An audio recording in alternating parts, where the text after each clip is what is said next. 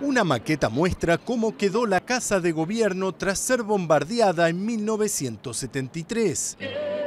Durante el ataque moría hace 40 años el presidente Salvador Allende.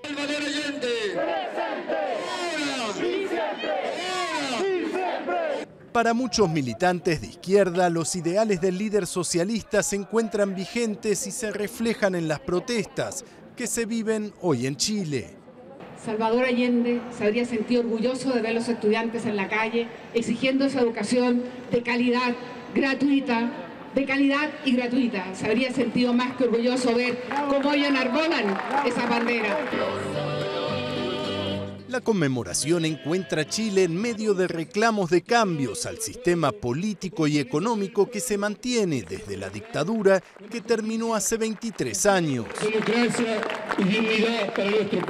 El modelo neoliberal instaurado por Pinochet ha logrado que Chile tenga una reconocida estabilidad económica, pero con una enorme desigualdad social tras la privatización de la educación, la salud y las pensiones.